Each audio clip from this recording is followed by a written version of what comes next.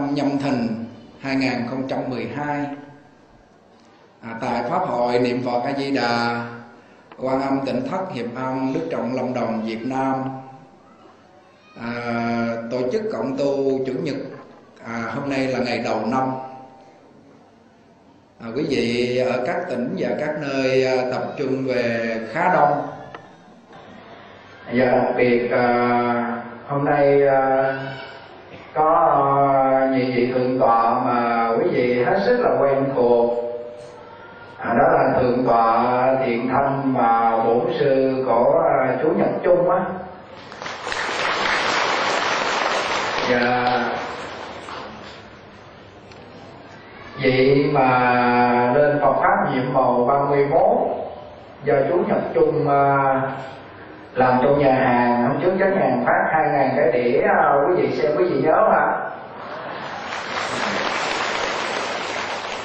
thì hôm nay à, cũng có thượng tọa, hai vị thượng tọa, một số quý phật tử và các chư tôn đức tăng ni cũng khá đông nhân cái ngày đầu năm. Chúng ta à, khai buổi niệm phật đầu năm à, dân nhà hết sức là quan hỷ. Thì thưa quý vị sáng hôm nay chúng ta đã tụng hết một bộ kinh vô lượng thọ. À, và đặc biệt à, sáng hôm nay tụng kinh vô lượng thọ giống nhàn à, có một cái cảm xúc là kỳ. Trước khi tụng kinh khoảng một giờ rưỡi có một trận mưa rất là lớn. Sau đó rồi à, tạnh lại để phật tử à, vô đậu tràng sau quý vị tụng kinh à, hai tiếng đồng hồ hết bộ kinh vô lượng thọ và lạy phật một tiếng đồng hồ ai cũng quan hỷ. Sau chúng ta dùng à, điểm tâm sáng xong thì cũng có mưa lác đác gọi là mưa xuân ha quý vị ha. Hết sức là quan hỷ giờ trời yên à, mây tạnh và nắng ráo. Ở đây cũng là chư thiên long thần hộ pháp gia hộ à, khi bất cứ nơi nào có một đạo tràng niệm phật đều có chư bồ tát à, và các vị long thầm hộ pháp đến cái pháp hội đó để gia trì gia hộ. Vì do nguyện lực của phật a di đà nơi nào có tụng à, kinh vô lượng thọ tức là tụng đến cái cảnh giới của ngài là y báo và niệm danh hiệu của ngài là chánh báo. Thì nơi đó ờ, có các vị đại bồ tát ẩn mình ủng hộ gia trì cho cái pháp hội đó. Mà đúng như vậy ờ, lần nào vía quan âm vào những dịp mưa đều ờ, không có bị mưa. Và chúng tôi thấy rất là dễ diệu, có sự gia trì của các vị bồ tát cho nên hôm nay à, đầu năm mới à, dân nhàn à, kính chúc chư tôn thượng tọa đại đức tăng ni pháp thể khinh an chúng sanh dị độ độ chúng sanh qua pháp môn niệm phật, để một đời này vãng sanh bất thói thành phật. Và kính chúc toàn thể quý phật tử bước sang năm nhâm thìn à, thân tâm an lạc tinh tấn tu hành phát bồ đề tâm nhất hướng chuyên niệm. Lão lão thật thật niệm phật a di đà một đời này cầu sanh về cảnh giới cực lạc của đức phật a di đà a di đà phật. Thưa quý vị à, hôm nay à, Giáo giác nhàn nói đến 10 cái công đức niệm phật lớn tiếng và 10 công đức lễ phật. Tổng cộng có 5 cái 10 công đức. Thứ nhất là 10 công đức niệm phật. Thứ hai là 10 công đức niệm phật lớn tiếng. Thứ ba là 10 công đức ấn tống kinh tượng phật thứ tư là 10 công đức lạy phật và thứ năm là 10 công đức phóng sanh. Thì thưa quý vị à, 10 công đức này à, giác nhàn à, đã giảng 3 năm về trước. Tuy nhiên hôm nay nói lại 10 cái công đức niệm Phật lớn tiếng và 10 công đức lễ Phật.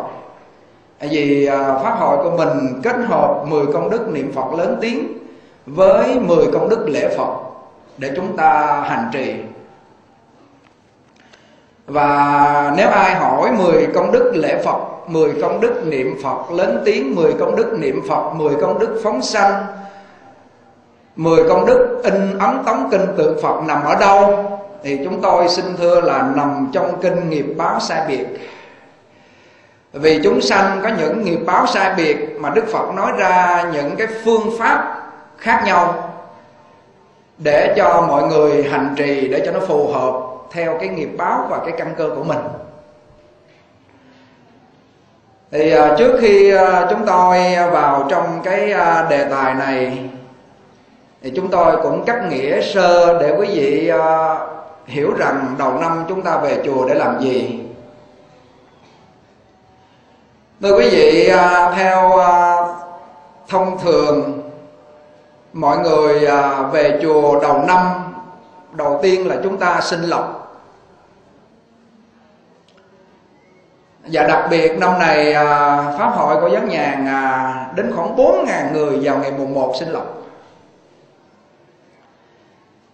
Và phát lộc tại chánh điện không đủ thì quý vị lên trên thấp chúng tôi, khi chúng tôi phát, quý vị đè chúng tôi luôn.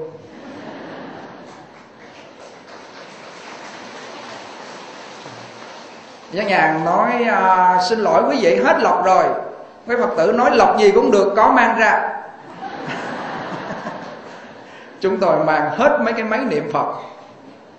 Coi giáng hương cúng dường một ngàn cái máy niệm Phật theo cái điệu niệm của Pháp hội mình. Chúng tôi à, chỉ tặng cho ban trợ niệm nhưng mà hết lọc rồi. Không biết bằng cách nào phải lấy máy niệm Phật ra họ cũng lấy. Đưa cái bao trong đó không có cái gì. Chúng tôi chưa kịp bỏ cái gì Họ lấy cái bao lì xì họ nói đây cũng là lọc rồi.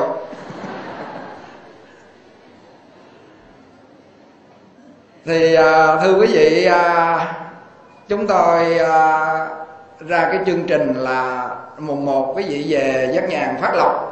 Nếu mà đến chiều là hết lộc. Vì à, nguyên do mấy năm trước từ mùng 1 đến mùng 4 chúng tôi cứ tiếp rai rai vì vậy cho nên giác nhàn phải à, ra cái phương án là phát lộc đầu năm từ 8 giờ đến 10 giờ là hết. Thì hầu như số lượng người chỉ tập trung về vào giờ đó chứ sợ hết lộc á mà. Vì vậy cho nên chỉ phát ngày mùng 1, ngày mùng 2, mùng 3 khỏe re. Bởi vì phát hết ngày mùng 1 Phật tử đến ngày mùng 1 à, chỉ có các tỉnh lưa thưa đến thôi. Vì vậy cho nên quý vị à, biết rằng à, mình à, nhận lộc đầu năm. À, đó là một cái việc à, may mắn khi à, đến chùa rất là tốt. Nhưng mà thực sự mà mình muốn có lộc quá thì mình phải làm sao? Mình phải có phước. Đúng không? Quý vị thấy ba cái ông mà thường à, người ta trưng bày trong nhà gọi là phước lộc thọ phải không? Phước hay là phúc cũng vậy. Gọi là phúc lộc thọ có phước rồi chúng ta mới có lộc. À, từ có lộc đó rồi chúng ta mới thọ hưởng. Ba cái bức tượng này rất là ý nghĩa. Vì vậy bây giờ quý vị thực sự mà muốn có cái lộc về với mình là làm ăn giàu có con cái học hành đỗ đạt thi cử học hành đỗ đạt gia đình được bình yên ít bệnh hoạn và phước lộc nó vào trong gia đình mình là dồi dào lộc nó đến gia đình mình dồi dào, thì mình phải làm phước. Nguyên tắc nó là như vậy. Tất cả những cái biểu tượng đều mang cái triết lý trong đó. Chứ không phải chúng ta nhìn cái biểu tượng phúc lộc thọ rồi chúng ta để đó, mà chúng ta phải biết rằng các vị tiền bối nói rằng là muốn có lộc đến với mình mình làm ăn, có cái lộc đến với mình thì mình phải làm phước. Làm phước đó là bố thí, cúng dường tạo tượng, đúc chuông, làm tất cả những cái việc đó. Nhưng mà có những người người ta không hiểu rằng khi người ta làm phước, bỏ đồng tiền ra, như hôm nay phóng sanh, in kinh, họ làm những cái phước báu, họ nói là mất. Tiền ra khỏi tay họ là họ nói là mất, nhưng thôi xin thưa không phải. Chúng ta bỏ tiền ra làm phước, nó còn cái phước báu, nó còn cái công đức tồn tồn động trong đó cho nên thành ra chúng ta phải nhớ rằng ăn quả ngon phải toan lấy hột, gieo lại mà mai mốt còn ăn. Nhược bằng hưởng trái hột quăng, ngày mai thèm khát xin ăn nhà người. Nếu hôm nay chúng ta có phước mà chúng ta hưởng một mình, không biết chia sẻ cho ai, thì hưởng phước bất khả hưởng tận. Một ngày nào đó nó tặng hết phước chúng ta rồi, đi ăn mày, đi xin ăn nhà người cho nên chúng tôi khuyên quý vị, hôm nay quý vị lục căn đầy đủ, được thân làm người, có phước báu, thì quý vị cũng dành một phần cái phước của mình để mà chia sẻ cho những người thiếu kém. Hay nói khác hơn, mình phát tâm đi cúng dường để mình tạo cái phước báu đó. Thì nhờ có cái phước đó, những cái điều quả nó đến với mình. Năm nay là sao la hầu, sao kế đô, sao thái bạch. Thì nếu cái quả đó nó đến với mình mà mình có cái phước báu nặng quá nhẹ nhẹ biến mất. Cũng như năm này ai về cũng kêu, thầy, năm này có cúng sao không? Thầy kêu, chút nữa thầy cúng sao cho. Thì hôm nay chúng ta về chùa, chúng ta phải hiểu rõ cái nguyên tắc để chúng ta tu hành. Năm nay mình bị cái sao la hầu, sao kế đô, hả mà, năm 40 tuổi à, nam bị sao thái bạch. Ví dụ vậy mà. Nhưng mà mình chỉ đến chùa mình cúng mấy cái đèn sao la hầu chính cái đèn cày. Rồi quý thầy đem cái đèn cày đó ra cúng xong rồi nói, rồi giải hạn xong rồi đó, con yên tâm cả năm. Yên tâm không quý vị? Dĩ nhiên chúng ta không bác cái chuyện mà cúng sao đó đó là nhu cầu của quý vị. Trong đạo phật không nói ra điều này. Nhưng mà quý thầy phương tiện để mà cúng sao, cúng hạn để cho quý vị về chùa, rồi quý thầy hướng dẫn quý vị niệm phật, tụng kinh, ăn chay, bố thí và lạy Phật sám hối. Đó là cái bước mà phải quý thầy phải hướng dẫn để cho quý thử, quý vị Phật tử bước thêm một bước nữa. Chứ không phải đến cái giai đoạn cúng sao là xong. Những cái nghiệp báo nó đến với mình mà chỉ có mấy cái đèn cày mà giải quyết được hả quý vị? Theo như chúng tôi giải quyết chưa được. Nhưng đó cũng là một cái bước báu, cái phước báu ban đầu quý thầy phương tiện dùng cái phương tiện trước để dắt dẫn quý vị về chùa. À, nghe chùa năm nay thầy dắt nhàn có cúng sao để quý vị biết quý vị đổ quý vị về để mà quý thầy sẽ thiết pháp dùng phương tiện đó để hướng dẫn quý vị tu tập. Phải bước thêm một bước nữa. Chứ không phải là cúng sao nhiêu đó là mấy cái đèn cày giải quyết được cái nghiệp cho quý vị. Phải không à như vậy cái sao la hầu sao kế đô sao thái bạch là sao xấu? Không phải là cái sao ở trên trời nó chiếu xuống ngay hôm đó cái bổn mạng mình bị cái sao la hầu nữ nó chiếu xuống. Còn da sao á, nữ bị sao kế đô nó chiếu xuống. Không? Còn nam là bị sao la hầu tháng giêng tháng 7 bị tai nạn. Ví dụ như vậy.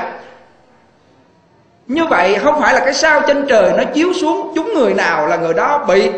Và đồng thời cái năm đó mình bị cái sao đó nó chiếu, cái tuổi đó bị cái sao đó nó chiếu, ở trên trời nó chiếu xuống. Mình dùng bảy cái đèn cày á, mình cúng nó đi thì những cái sao đó sẽ không có chiếu đến mình nữa. Quan niệm đó là sai. Cái sao đó là biểu trưng cho những cái nghiệp. Cái nghiệp, cái sao la hầu, sao kế đô đó là tượng trưng cho những cái nghiệp xấu. Còn sao mộc đức, sao thái dương tượng trưng cho cái nghiệp tốt, gọi là nghiệp thiện lành. Thấy chưa? Mình giải như vậy nó đúng cái giáo lý nhà phật. Bởi vì tất cả đều do tâm tạo. Không có một thượng đế, không có một cái gì bên ngoài mình có thể ảnh hưởng mình được. Đem lại cái nghiệp cho mình mà tính chính mình tạo ra cái nghiệp gì rồi mình phải thừa tự và thừa nhận cái nghiệp đó. Đó là chân lý. Giáo lý đức phật dạy rõ ràng. Chúng tôi học năm nay là 29 năm. Không phải khoe thời gian học lâu nhưng mà nó cũng là gì? Đi sâu vào trong giáo lý của nhà phật hiểu rõ chuyện này rồi. Hả mà như vậy các chùa cúng sao chúng ta có đến cúng không? Vẫn cúng. Không chê bai chỉ trích chúng ta vẫn đến nhờ các thầy cúng một cái đèn cày thấp nhang thấp một cái đèn cúng cho phật cũng có phước rồi. Đúng mà, chúng ta không chê bai chỉ trích không bác, như nước đến đâu mình cũng hòa với được hết cả. Như vậy hôm nay chúng ta biết rằng chúng ta bị cái sao xấu, đó là cái nghiệp xấu năm nay nó đến với chúng ta. Bây giờ làm cách nào để hóa giải? Trong kinh phật dạy các phẩm hạt bối đức phật nói, này tất cả các vị tỳ kheo, một nắm muối, khi bỏ vô chén muối, các vị thấy uống nó có mặn không? Thì các vị tỳ kheo mới nói, bạch đức thế tôn, một nắm muối mà bỏ vô một chén nước thì uống rất là mặn. Phật nói rằng, bây giờ nắm muối đó, lấy bỏ vô cái lu nước thì uống còn mặn không? Các vị tỳ kheo nói, bạch đức thế tôn, nếu mà nắm muối mà bỏ vô trong lu nước thì nó pha loãng ra, nó sẽ lạc. Đức phật nói cũng vậy. Nếu cái nghiệp ác mình là đức thế tôn dụ cho là cái nắm muối mà nó đến với cái tâm mà nhỏ hẹp như chén nước á, nhỏ hẹp hẹp hòi, ích kỷ, ganh tị, hơn thua. Thấy người ta hơn mình là bắt đầu mình á, không ưa rồi mình đi nói xấu người ta, không biết bố thí cúng dường. Cái tâm đó là cái tâm ích kỷ, hẹp hòi, nhỏ hẹp. Thì điều ác đến là lãnh đủ trăm phần trăm. Quý vị đồng ý chuyện nào không ạ? Trong kinh phật dạy phẩm hạt muối trong kinh nikaya rõ ràng thì chúng tôi lấy cái câu chuyện này áp dụng cho cái nghiệp đầu năm gọi là quý vị đi dân sao giải hạn. Như vậy, nếu mà cái điều ác quá khứ mình đã tạo, mình ăn một miếng thịt mình cũng tạo một điều ác, đúng không ạ? Mình sát sanh mình tạo điều ác, nói xấu cho người khác là tạo điều ác, nằm trong bụng mẹ, làm cho mẹ khổ đau, ăn không ngon, ngủ không yên, ốm nghén, cũng là đã có tội rồi, đúng không ạ? Thì như vậy hôm nay cái tội này nó đến cái lúc dị thời như thục dị loại như thục, biến dị như thục, nó đến cái lúc là nó đã trổ ra cái quả thì chúng ta phải lãnh đủ. Nhưng khi cái quả nó trổ ra mà cái tâm chúng ta rộng lượng như cái lu nước, như cái hồ nước, như cái biển cả, thì điều ác nó sẽ pha lộn chắc chắn là như vậy. Như vậy hôm nay chúng ta biết rồi, nếu mà giải quyết những cái sao hạn giải quyết những cái điều bất thiện đến với mình thì mình làm sao cho cái tâm lượng mình nó rộng lượng ra? Biết bố thí, biết cúng dường, biết lạy phật, biết ăn chay, biết niệm phật. Mà trong tất cả cái cách để mà khai mở tâm lượng, để cho nó rộng lượng, thì cái cách niệm phật là cách khai mở tâm lượng, rộng lượng nhanh nhất và tâm đồng tâm chư phật cho nên mới nói pháp môn này mười phương chư Phật, tướng lưỡi rộng dài thiết thành thật ngôn, và mười phương chư Phật tán thán Đức Phật A Di Đà từ bây giờ, từ khi Đức Phật A Di Đà thành Phật, và bây giờ thành Phật mười kiếp rồi, và tán thán cho đến tột cùng đời vị lai. Đó là nguyện thứ 17 do Đức Phật Di Đà nguyện thứ 17 khi con thành Phật, mười phương chư Phật nếu không tán thán về cảnh giới là y báo của con, nếu không tán thán về chánh báo của con là danh hiệu của con, nếu không tán thán về 48 lời nguyện của con, nếu không tán thán về cái công đức danh hiệu niệm Phật, thề con không thành ngôi chánh giác. Đó là nguyện thứ 17 Đức Phật A Di Đà đã thành Phật rồi 10 kiếp rồi. Vậy là cái nguyện này đã thành tựu. Thành tựu là là ngài đã được mười phương chư phật tán thán và đặc biệt nữa, ai niệm danh hiệu đức phật a di đà thì cũng sẽ được mười phương chư phật theo để mà tán thán hộ trì người đó. Cho nên pháp môn này là pháp môn khó tin, gọi là nan tính chi pháp. Khó tin và rất khó tin. Như vậy hôm nay chúng ta hiểu rõ vấn đề sao hạn, đúng không ạ? Hiểu rõ rồi thì chúng ta bây giờ làm sao cho để khai mở tâm lượng cho nó rộng như cái lu nước, như cái hồ nước, như cái biển cả? Cái tâm thể như thế nào gọi là rộng rượng?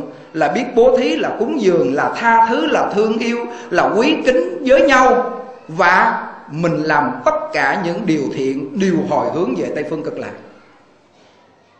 đó. Như vậy đầu năm chúng ta hiểu rõ rồi, chúng tôi không bác về sao hạn đây là phương tiện của mấy thầy sử dụng để mà dìu dắt phật tử về chùa. Nhưng không phải đến đó và chỉ cúng những cây đèn, cây sao đó là xong giải quyết được cái nghiệp chướng của quý vị. Xin thưa là chưa. Mình phải ra công sức để tu hành. Ví dụ quý vị sát sanh, quý vị ăn thịt chúng sanh, quý vị tạo nghiệp, thì bây giờ quý vị phải ăn chay, quý vị phải phóng sanh, quý vị phải lạy sám hối chứ. Đúng không ạ? à? Cũng như là cái cô à, bích và vừa rồi lên để mà phát biểu à, trong cái đĩa mà hành trang về cực lạc. Cô có nói quý vị nghe không? Một năm như vậy là giết hai chục ngàn con vịt. Vì ngày một ngày năm chục con. Và năm năm là 100 ngàn con. Từ lúc đó là bắt đầu mang bệnh. Bú cổ, huyết áp cao rồi thấp khớp, đủ thứ bệnh. Mà từ khi cô lên quan âm tỉnh hót Bắt đầu cô ngay cái ngày vía quan âm 19 tháng 6 Cô lạy quan âm Bồ Tát Cô về nhà phải ăn chay Phải niệm Phật, phải lạy sám hối Phải tụng kinh, phải tu hành. Đến bây giờ nó mới chuyển nghiệp Là hết đau bệnh. Tuy nhiên những cái nghiệp của con thú mà 100 ngàn con đó Khi bây giờ mình đã có một cái phước báu nó tạm tha mình đó. Lúc mà mình ngáp ngáp rồi nó cạp cạp nó đó Mấy con vịt đó. Trong nó chưa tha đâu. Mạng đền mạng mà. Nhưng bây giờ mình làm sao cho cái tâm lượng mình nó rộng lượng? Cái lúc lâm chung mà có người đến hộ niệm cho mình.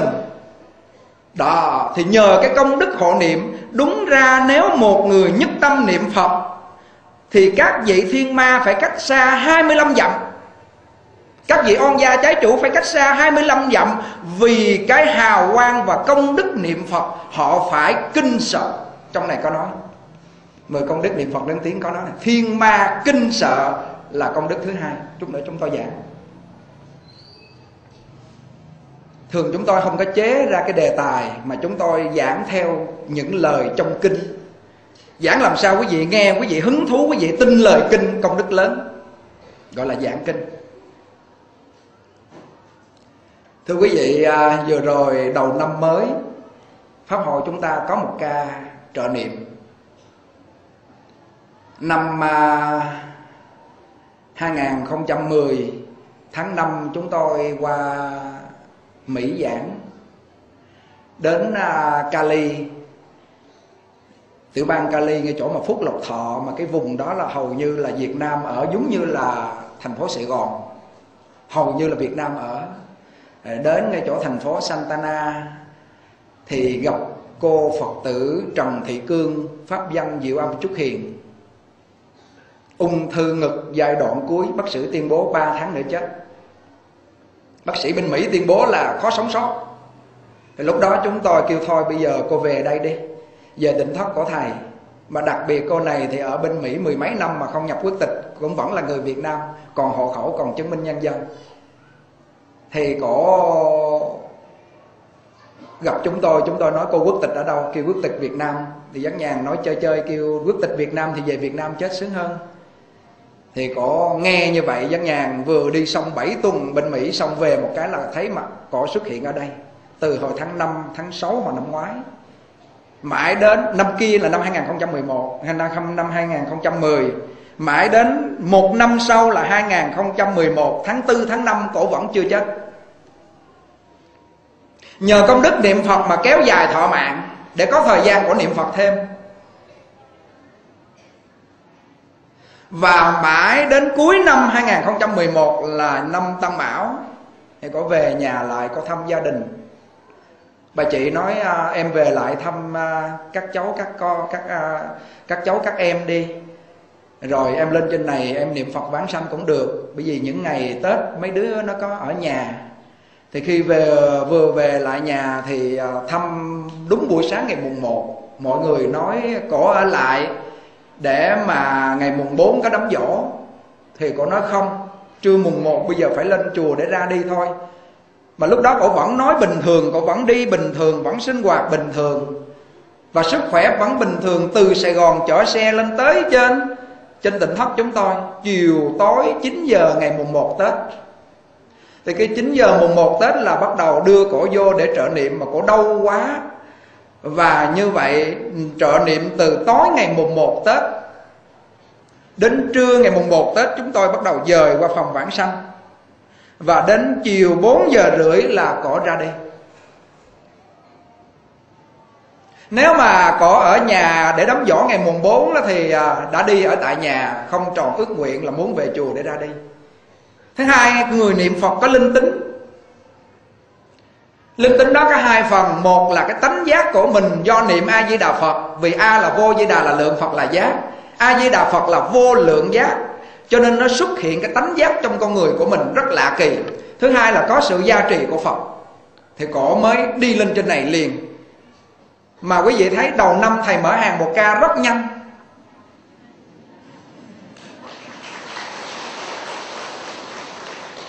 Không phải nằm ngày này, ngày nọ, Tuần này, tuần nọ. Hầu như chúng tôi vô nó là ba ngày là ít nhất.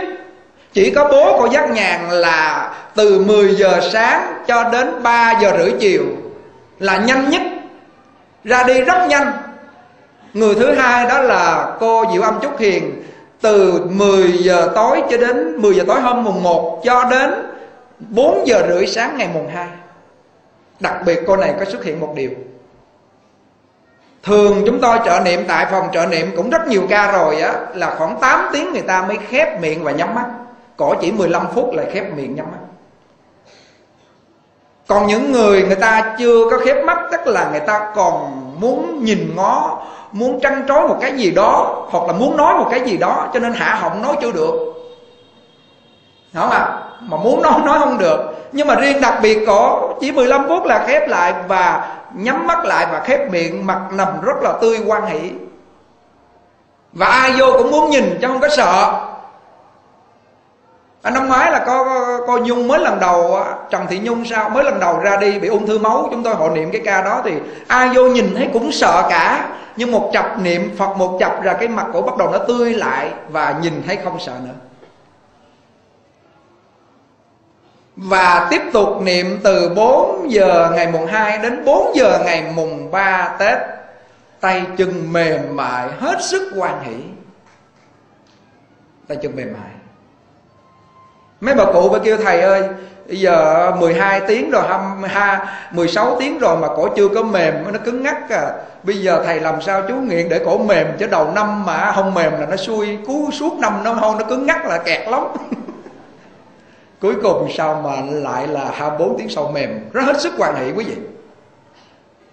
Và sáng ngày mùng 4 đầu năm giác nhàn xuất hành mang đi một người mang đi thiêu. Chắc năm này có bộ thiêu nhiều quá nghe. Mà đặc biệt chùa mình cô diệu âm chúc hiền à, ra đi đầu năm người đời thì kêu là xui đầu năm có người chết.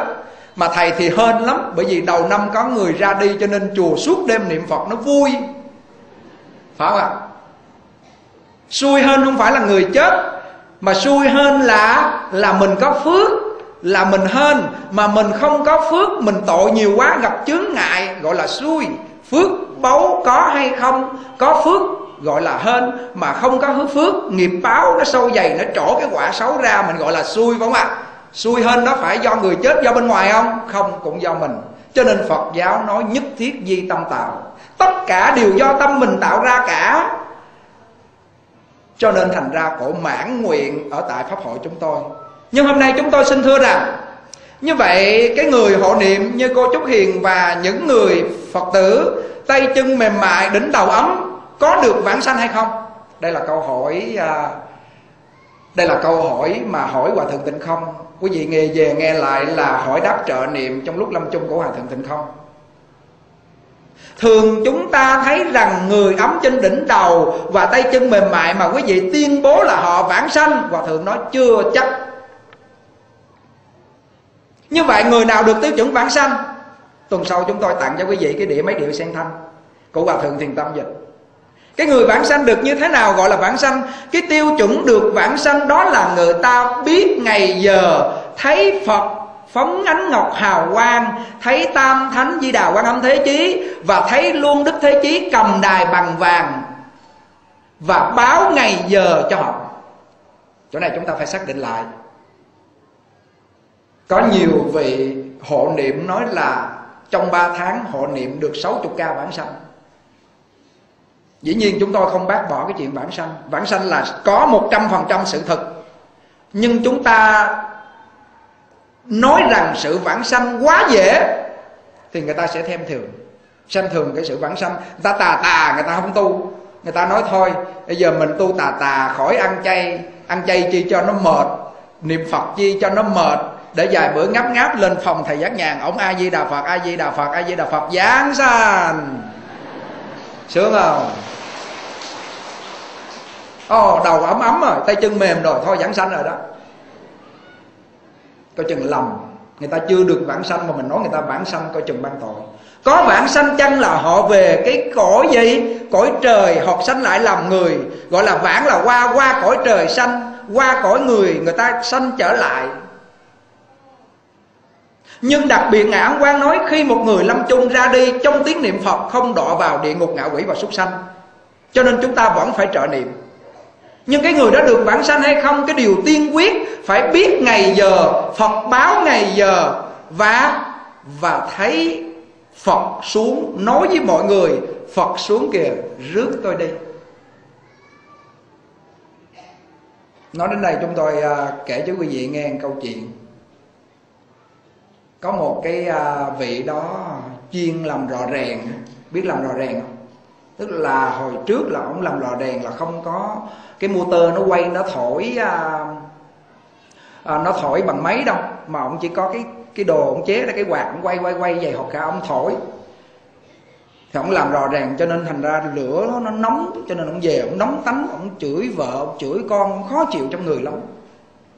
Bữa đó gặp một vị thầy đi ngang qua nói ông ơi ông làm rò ràng như vậy trong người ông chắc là bực bội nóng tính lắm thường các vị mà chăm tu, ông nhìn gương mặt mình, ông biết địa chỉ nghe.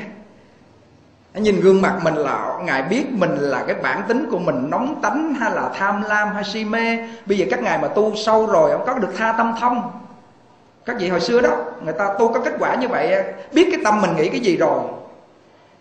Bắt đầu mới nói, ông nóng tánh như vậy, giờ tôi chỉ cho ông một phương pháp. Ông vừa làm mà ông vẫn tu tập được, ông niệm danh hiệu a di đà phật một thời gian ông vẫn làm nhưng mà trong người ông sẽ mát mẻ. Cái nóng bên ngoài nó không tác dụng vô cái tâm ông được. Cái nóng bên ngoài á nó sẵn nóng bên ngoài mà cộng chung với cái nóng trong tâm ông nữa. Hai thứ á, nó ập vô là nó làm cho ông à, tim gan tỳ phế thận tiêu nát hết làm cho người ta đau khổ. Bây giờ cái nóng bên ngoài nó có nhưng mà tâm ông đã mát nó không thể nào á, ảnh hưởng ông được. Ông nghe có lý mà hồi trước đặc biệt các vị, hồi xưa khi nghe người ta, khi nghe các vị mà chỉ niệm phật là họ về họ niệm đến cùng nha.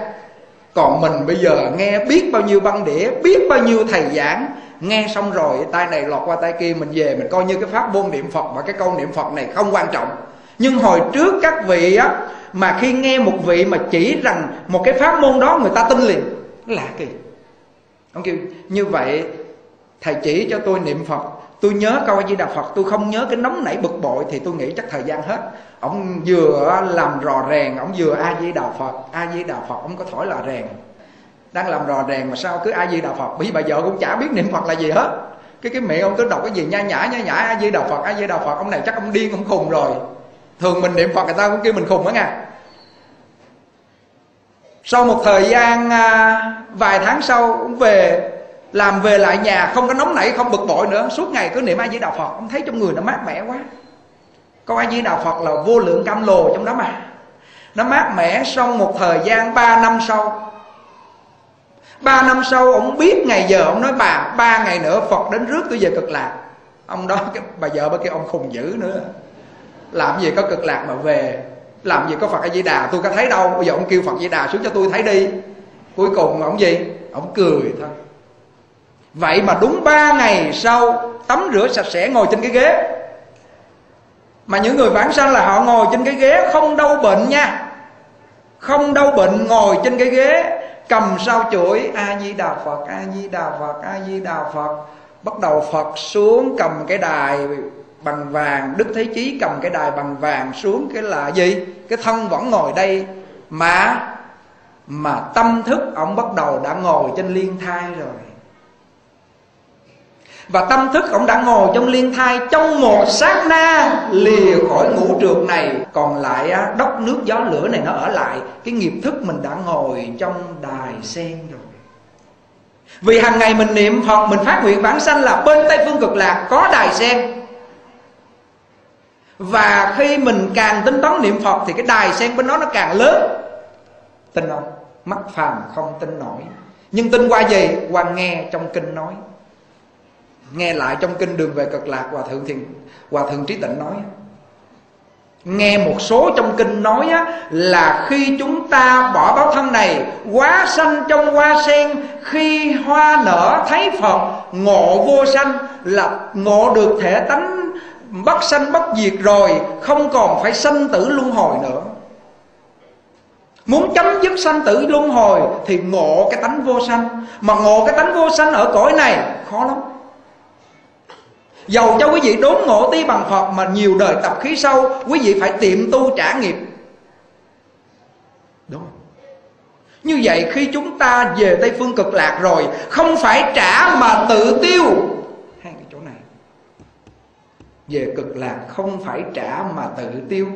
Còn bất cứ ngồi cảnh cực lạc ra ở cõi trời hưởng hết phước rồi cũng phải trả. Ở cõi người kiếp sau làm á, ông giàu có, làm đầy đủ cái gì đi nữa là chúng ta cũng phải trả nghiệp như ngài một kiền liên đắc a la hán mà cũng phải bị ngồi đạo đánh chết, phải trả nghiệp. Nhưng đặc biệt người về cực lạc không phải trả mà tự tiêu nhờ công đức phật gia trì. Chỗ này khó tin. Khai thác ở chỗ này khó tin. Nhưng tôi tin cái điều này, nhưng tôi tin cái điều này. Vì kinh kinh nói rõ ràng như vậy, chứ không phải giác nhàn tự bị đặt lên điều này cho nên các vị khi đốn ngộ rồi, phải tiệm tu để trả nghiệp từ từ. Ai? Ngộ đạt quốc sư. Rồi các vị tu thiền nói đốn ngộ ti bằng Phật mà nhiều đời tập khí sâu. Đốn ngộ rồi phải tiệm tu để trả nghiệp từ từ. Còn người niệm Phật là đốn tiệm song vận Niệm A-di-đà Phật lâu ngày, Ngộ được tự tánh di đà di tâm tịnh độ. Đó là bằng với thiền tâm là ngộ bản lai diện mục. Nhưng nó tiệm tu là một câu A-di-đà Phật Tiêu tám ức kiếp trọng tội sanh tử. Cho nên thành ra nó tiệm tu ngay trong lúc đó luôn, Chứ không phải đốn rồi mới tiệm. Đốn tiệm xong vọng. Người nào mà nghiên cứu được cái giáo lý ha, hiểu được Phật pháp, nghe chỗ này thì thấm, nó thấm đến xương tủy. Chúng tôi nói đến đây tự nhiên nó nổi da gà lên. Khi mà mình nghe câu Phật pháp, những cái điều mà gọi là tâm đắc trong người mình, nó rung động tần số đó là người có thiện căn. Như vậy, những người mà vãng sanh tây phương cực lạc thì người này phải đầy đủ thiện căn phước đức nhân duyên. Nhưng chúng tôi nói rằng cái cái thiện căn phước đức nhân duyên của họ tối thiểu là người này phải không bệnh hoạn. Tuy nhiên, có những người hạng bồ tát hiện thân bệnh hoạn thân đau bệnh, nhưng tâm người ta không đau bệnh như như bất động. Người ta cũng hiện thân để mà mà biết rằng đau bệnh vẫn niệm phật, vẫn sanh được. Đó là hàng bồ tát. Khi đau bệnh, thân ngũ uẩn này hành hạ, nhưng tâm người ta như như bất động. Đó là hàng bồ tát. Còn phàm phu làm không nổi. Thượng tọa kiến thí tu tại thiền viện Trúc Lâm Ung thư bao tử, đau đớn. Bốn tháng trời nằm vật lộn Ăn uống không được, nằm mỡ mỡ Cuối cùng lên trên này một tuần phải ra đi Nhờ công sức niệm Phật. Cộng với cái lực của đại chúng Cộng với cái lực của mình Cộng với lực Phật gia trì mới giải quyết được cái vấn đề. Đối đầu với sanh tử rồi mới thấy mình như thế nào. Còn bình thường ai cũng nói tôi vô định Tôi giữ tâm bình thường rất an lạc thanh tịnh nhưng đó là lúc đang bình thường. Nhưng đối đầu với ung thư kìa, đối đầu với gặp những tai nạn xe tông một cái rầm lồi não kìa. Lúc đó mới biết mình như thế nào. Kịp niệm phật không? Không kịp niệm phật. Mà nếu người đã niệm phật rồi, không bị cái chết như vậy, đặc biệt. Đó. như vậy hôm nay chúng tôi xác định lại các ban hộ niệm khi một người ra đi, chưa thấy đài sen, chưa thấy phật a di đà xuống rước, tay chân mềm mại đỉnh đầu ấm, nói người ta vãng sanh về cõi lành. Đừng nói vãng sanh về cực lạc. Khi thấy người ta ngồi lên đài vàng, họ báo rằng, phật cầm đài vàng đến rước tôi. Nghe mùi thơm trong nhà ba ngày chưa mất và gì họ ngồi đài vàng tự tại ra đi thì nói họ vãng sanh cực lạc. Nhớ, hãy nhớ chỗ này. Chứ không các tông phái khác nói mình làm gì mà tu về các bậc bồ tát thượng thiện nhân mới về ở bên cực lạc gần phật di đà. Còn mình á, vợ con đùm đề tạo nghiệp á, ngủ nghịch rồi á, ăn mặn rồi không có tu hành gì hết mà sao được về? Đúng, điều này được về với điều kiện đó là bồ tát các vị hàng thánh, ngài quá thân để ngài thể hiện, để ngài cho mình biết cái pháp môn tịnh độ nó sẽ được như vậy. Nhưng hàng phàm phu khó, trong muôn ngàn điều khó. Như vậy cho nên hàng phàm phu chúng ta phải phải tích lũy công đức gọi là tích lũy để đới nghiệp vãng sanh. Còn các vị đó là hiện thân, nguyện lực để ngài, các ngài đó giảng sanh. Chúng ta phải hiểu rõ như vậy. Đó. Thì nãy giờ chúng tôi à, chưa đi vào trong đề tài, nói à, xung quanh một số những cái vấn đề liên quan đến pháp môn niệm phật. Giờ đây à, chúng tôi bắt đầu đi vào trong 10 công đức niệm phật lớn tiếng bây giờ chúng ta đi vào đề nghe à, 10 công đức niệm phật lớn tiếng. 10 công đức niệm phật lớn tiếng. Thứ nhất, đánh tan cái tâm hôn trầm mê ngủ. Công đức thứ hai, thiên ma kinh sợ. Công đức thứ ba, tiếng vang xa khắp mười phương. Công đức thứ tư, ba đường ác được nhờ vào đó mà dứt khổ. Công đức thứ năm, tiếng động chung quanh không xâm nhập vào làm loạn tâm mình được công đức thứ sáu niệm tâm không tán loạn. Công đức thứ bảy, mạnh mẽ, tinh tấn. Công đức thứ tám, chư phật vui mừng. Công đức thứ chín, tam muội hiện tiền. Và công đức thứ mười, được bản sanh cực lạc.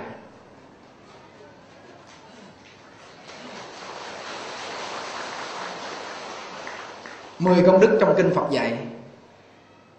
Đúng ra một công đức chúng tôi phải giảng hai tiếng đồng hồ một ngày là một buổi vậy đó. Chia nó ra là phải thiệt lâu. Nhưng hôm nay chúng tôi gói gọn cho gọn lại để quý vị hiểu hết.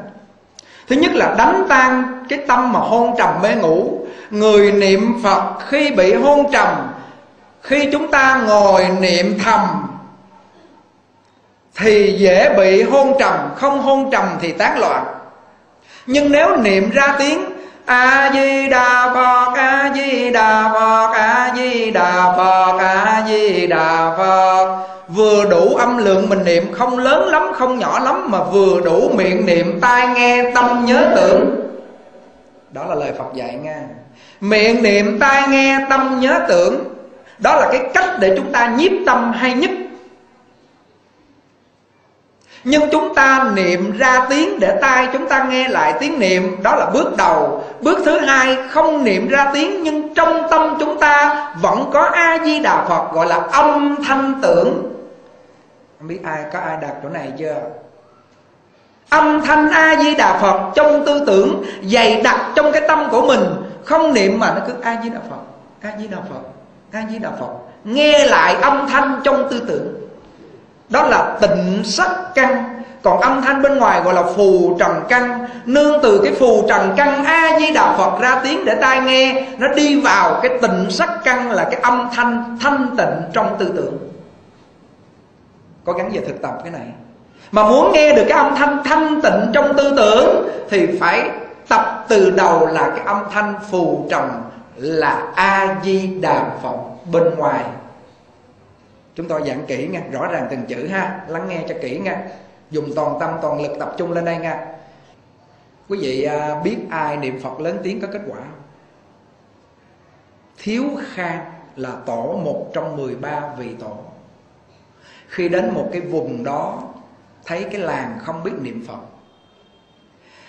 Thì à, ngài thấy những đứa bé mấy đứa bé nó bỏ nó chạy nó kêu ô ông trọc đầu kìa. Chứ không biết ông thầy luôn cái ông trọc đầu không à? Vì mấy thầy không có tóc nên nó chọc đầu mà. Thì bỏ chạy. Chập cái bắt đầu ngài cầm đồng xu ra. Ngài kêu bây giờ mấy đứa nhỏ phải dụ cho tiền nó mới tới. Ngài cầm đồng xu ngài đưa ra. Kêu ông ông cho con á hả? Kêu con phải niệm a di đà phật thì ông cho con. Nó kêu a di đà phật là gì? Thôi niệm đi. Bánh kìa bánh kìa, ngon quá rồi. Chảy nước miếng thèm rồi. Hai đứa nhỏ đứng. A di đà phật, đưa tiền đây. anh niệm xong cái đưa tiền đây liền. Ngài rút ra đồng xu đó đưa cho nó. Tỏ thiếu khang. Bữa sau tới. À, ông già ơi bữa nay ông chọc đầu ơi có tiền nữa không? Nói bữa nay có tiền nhưng phải niệm 10 lần. Sao niệm chứ nhiều quá vậy một lần đủ rồi. Không đợt này phải 10 lần. Ngài thiếu khang. A di đà phật a di đà phật a di đà phật a di đà phật đưa tiền đây. Cuối cùng ngài cầm ngài đưa thêm một lần nữa cho nó vậy mà về sau, cả làng biết niệm phật. Quý vị thấy tỏ chưa? Tỏ họ làm cái việc gì đơn giản nhất, cho tiền để những đứa bé niệm phật, cho tiền cho các cụ già niệm phật, hành trạng của tổ vậy mà chúng ta bác cái niệm phật đi, nhiều người bác lắm á. Và một thời gian, ngài có duyên ở tại cái làng đó, ngài xây một cái chùa rất là lớn người ta tự người ta mang gỗ, mang cây, mang đồ vật liệu đến xây cái chùa. Và trong một ngày nọ, ngài ngồi ngài niệm a di đà phật a di đà phật. Nhớ nghe, tổ hồi xưa ngài niệm 4 tiếng 6 tiếng. 6 chữ có 4 chữ có. Đừng có nói niệm bốn chữ, thiếu hai chữ nam mô là không được bản sanh nha. Không cung kính nha, không phải nha. Nói vậy là sai à. Ngài ấn quan a mi thổ phộ à. Ngài lý bình nam cũng a mi thổ phộ à. Ngài tịnh không cũng a mi thổ phộ à phải, phải nghiên cứu cho rõ chứ đừng có đụng đâu nói đó. Nói sai cái mang tội chết à. Thì ngài niệm a di đà phật a di đà phật thì trong miệng của ngài một câu a di đà phật lớn tiếng niệm ra là một hình ảnh tượng phật a di đà bằng ánh sáng hào quang bay ra. Ai coi ai coi chưa ai coi cái chỗ tiểu sử của ngài thiếu khang chưa rồi hay. Nói đến đây tự nhiên nó rùng mình không? Nổi da gà sự thật sự thật là như vậy độ chúng sanh bởi vì một câu A Di Đà Phật có pháp thân báo thân ứng quá thân của Phật A Di Đà ở trong câu A Di Đà Phật. Cho nên ngài Thiếu Khang niệm một câu A Di Đà Phật trong miệng bay ra một cái quá thân của Đức Phật A Di Đà và bay ra rất nhiều tượng Phật A Di Đà bao vòng tròn trước mặt ngài thành một cái dòng hào quang. Hay không? Tin nổi không? Trong sử nói mà sai à? Tâm ngài an lạc, không uống một viên thuốc. Rồi đến lúc ra đi, Ngài chắp tay dặn đệ tử, Các con ở lại hãy cố gắng niệm Phật A-di-đà. Thôi, bây giờ ta về trước nha. Nói vậy một cái, Phật A-di-đà đến rồi, Thôi để tôi đi chứ Phật A-di-đà đợi. Hay quá Hay quá. Đó, chúng tôi nói tóm tắt Ngài Thiếu Khang thôi. Nói trong sử liệu hay lắm. Chúng tôi sẽ có duyên với tịnh độ. Mỗi lần coi đến chỗ này là nó rớt nước mắt. Rớt nước mắt bởi vì sao? Đây là sự giảng sanh, sự thực về bên đó gần Phật để thành Phật. Bồ Tát quan âm thế chí còn về bên đó. Mà vì sao chúng ta không về? Vì thiện căn phước đất nhân duyên kém cho nên không tin. Vì vậy cho nên hôm nay một về, hai về Trăm về, ngàn về nha. Đó đó là biểu tượng của các vị tổ về trước rồi. Hôm nay chúng ta theo ngài đi. Theo ngài thiếu khương về nơi quê cha đất tổ đi. Đó là nơi đó là cái nơi á, mà chúng ta phải về. Đây là quán trọ. À phải theo ngài thiếu khương về tây phương yêu dấu. Con theo cha di đà về quê hương tuyệt vời. Tuyệt vời quý vị ạ. Sao chúng ta không dồn toàn tâm, toàn lực? Sao không dồn toàn bộ dự án vô trong câu a di đà phật đi? Tập trung toàn tâm vô đó đi. A di đà phật là vô lượng công đức mà. Mà đã vô lượng công đức rồi, quý vị sẽ đầy đủ tiền bạc của cải ngọc ngà châu báu, đầy đủ những cái gì phương tiện có hết thân thể xấu xí trở thành đẹp đẽ. Thân thể gì? Thân thể mình xấu xí đẹp đẽ, trí tuệ, ngu dốt trở thành sáng suốt. Hồi trước chúng tôi quý vị nhìn thấy thảm lắm. Coi không có ra gì đâu à. Hôm nay niệm phật thấy được được một chút phải không? Vì sao vậy? Vì trong câu a di đà phật có vô lượng tướng ảo. Trong ao câu a di đà phật có vô lượng quang minh cho nên khi người ta niệm phật mặt mày người ta sáng rỡ có ánh quang minh khó tin khó tin. Khó tin cho nên dở dàng bỏ câu a di đà phật. Ngài ông quan vậy à, niệm phật lớn thấy phật lớn. Coi lại trong ấn quan văn sao niệm phật nhỏ thấy phật nhỏ và không niệm không thấy.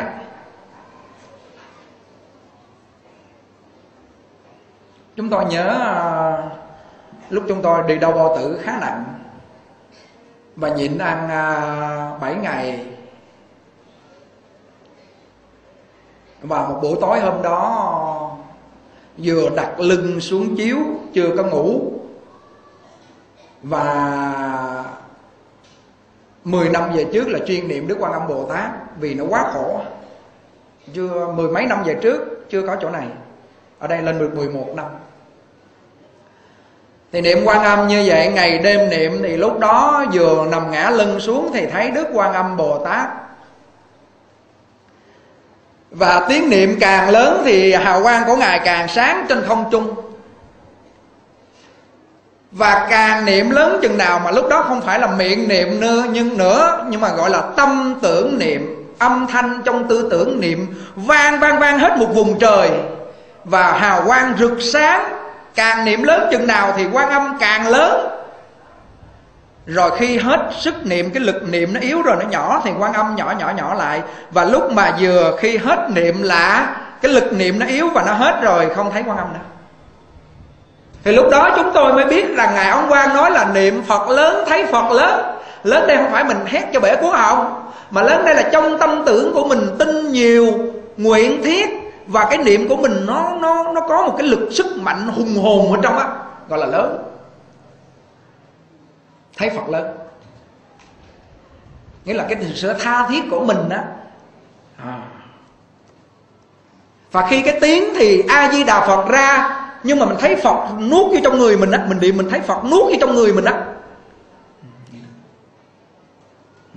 Phật gia trì cho mình á, nhập vô trong người mình á người ta dám niệm đồng bóng, người ta dám niệm thánh thần để thánh thần nhập vô người ta người ta nhảy múa quay cuồng. Thấy không? Thấy lên đồng không? Người ta vô một cái là nhập vô một cái là thánh thần nhập vào bắt đầu họ nhảy múa quay cuồng, phát lộc, phát đồ, họ múa ui cha nhảy đẹp lắm. Sao dám cho cho thánh thần nhập vô? Còn mình sao không dám niệm phật cho phật nhập vô cái tâm mình? Tâm tức phật phật tức tâm. Năng niệm là mình sở niệm tánh không tịch cảm ứng đạo giao không thể nghĩ bàn niệm cái gì thì nó sẽ ra cái nhân vật đó. Niệm bác sĩ, ra nhân vật bác sĩ. Niệm ông hai đập xếp lô sẽ thành ông hai đập số lô. Niệm đi tu sẽ làm thầy chùa. Đúng không? Niệm phật sẽ làm phật. Rõ ràng như vậy không chạy đâu trên nếu phật a di đà mà không có nhân vật đó và không có người phát nguyện, hạnh nguyện đó thì không thể nào thành được nhưng có Phật A Di Đà thành Phật rồi 10 kiếp, hiện đang thuyết pháp ở bên cảnh giới cực lạc, có phát nguyện mà mình niệm danh hiệu nghĩ đến ngài và nghĩ đến cảnh giới thì mình phải về. Vì cảnh giới và con người đó có thần trong không phải là hư cấu. Nhớ chỗ này không ạ? À? cái lý giải chỗ này là sắc bén nè. Xử lý biên dung nè. Có nhiều người nói chỉ có tự tánh di đà Di tâm tịnh độ, không có sự tướng Phật Di Đà và cảnh giới cực lạc. Nói vậy là chỉ có chấp lý mà bỏ sự. Sai. Đúng một nửa thôi. Phải nói rằng có Phật Di Đà là tự, là là sự tướng, là Tây phương cực lạc, cách đây 10 muôn ít cõi. Cho nên trong kinh a Di Đà mới có nói, Cách đây 10 muôn ít cõi, có cảnh giới cực lạc, Có Phật A Di Đà. Thành Phật 10 kiếp hiện đang thiết pháp. Nếu không có Phật A Di Đà, ai nói đó 48 lời nguyện? Chúng ta chỉ nói đến đó là chúng ta đủ tin quá rồi, đủ tin quá rồi.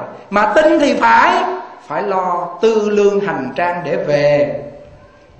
Đừng có lo tư lương ở đây nữa. À. như vậy hôm nay chúng ta thấy rằng cái công đức mà niệm Phật lớn tiếng, nó có công năng, nó đánh tan cái tâm hôn trầm. Mà tâm hôn trầm đó một, đó là một loại tâm vô minh, mê mờ vì sao chúng ta hôn trầm? Vì á, chúng ta ban đêm thì thức khuya quá và ăn cho nó no một bụng lên.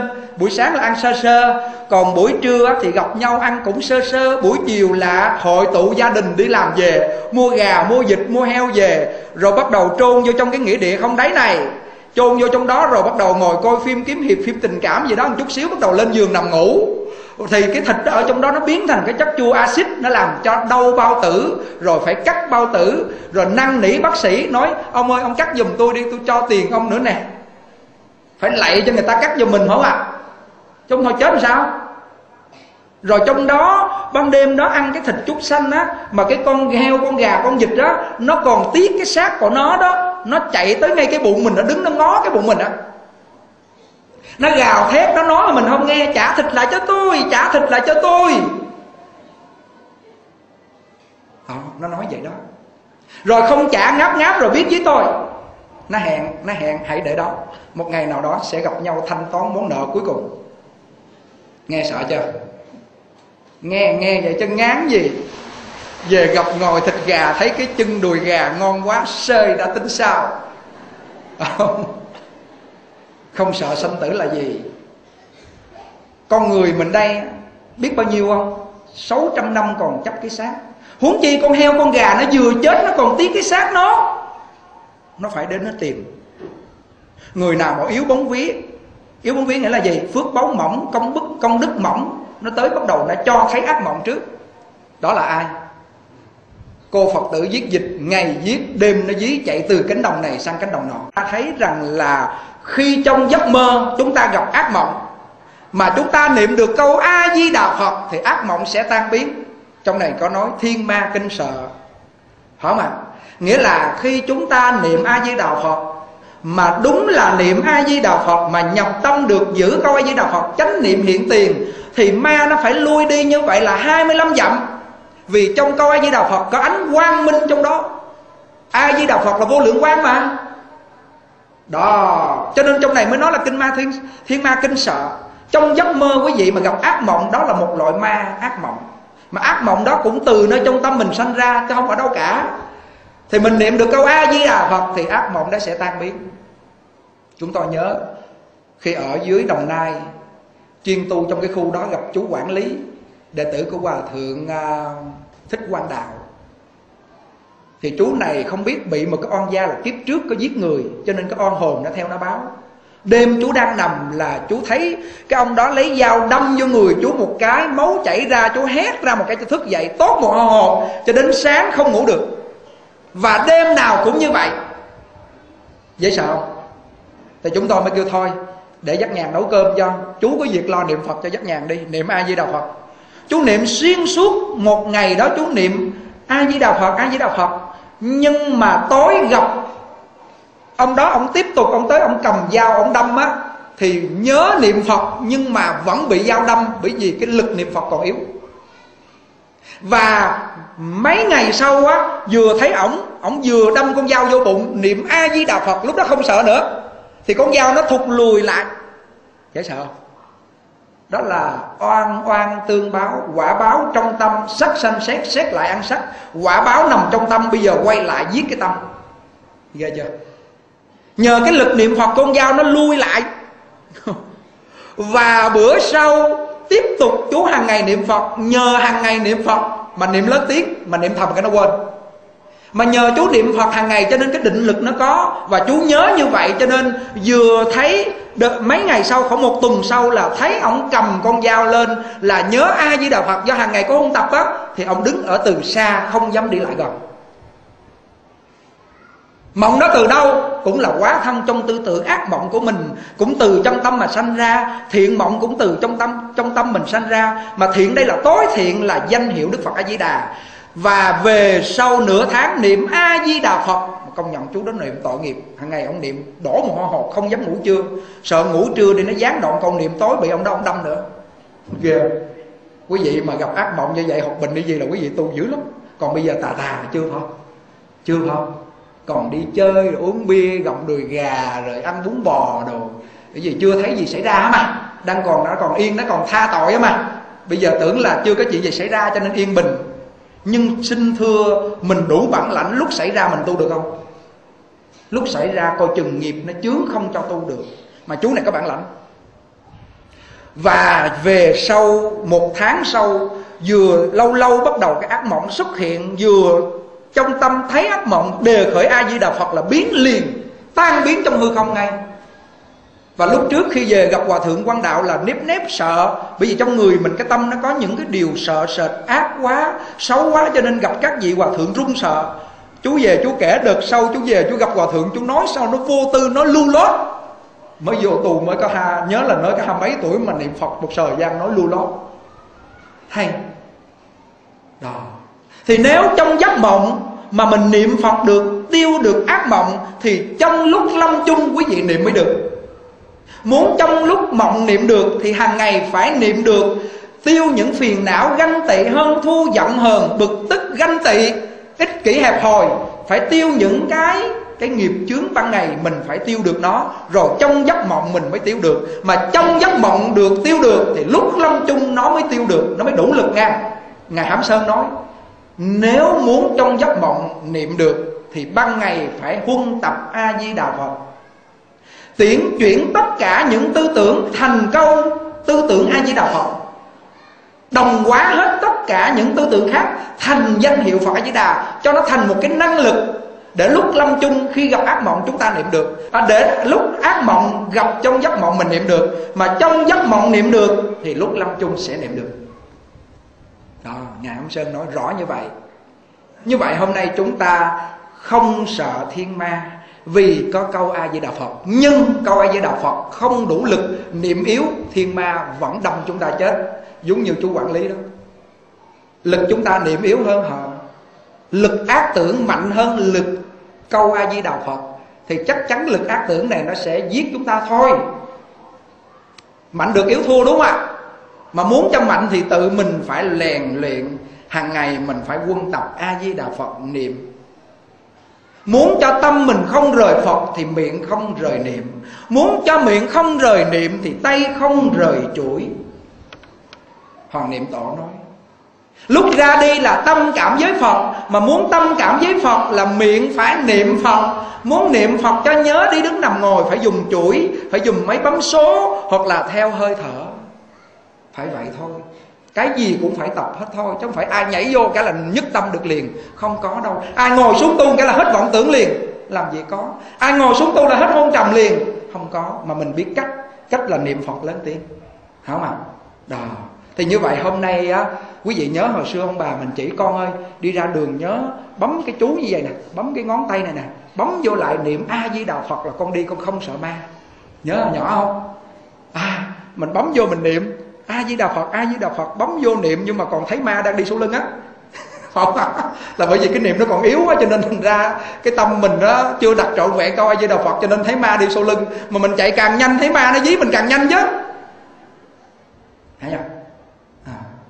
vì vậy cho nên thành ra là thực sự mà mình kêu là ma chứ họ là một chúng sanh, là một con người. Đúng không? Khi họ mất, họ chuyển thành một cái cảnh giới sống trong cái thân tư tưởng. Quý vị biết rồi, chùa mình nó là biết bao nhiêu người về đây xin quy y đúng không ạ?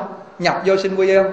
Nhưng mà cái người mà nhập mà chúng tôi thấy ấn tượng nhất là ba đứa thai nhi.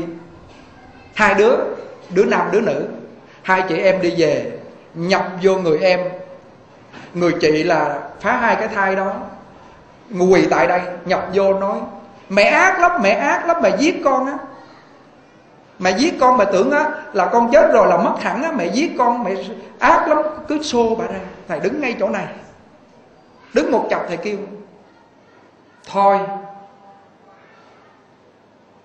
con phải cảm ơn mẹ con. Nhờ mẹ con mà con được về chùa, con được quy y. Chiều nay thầy cúng nữa kìa.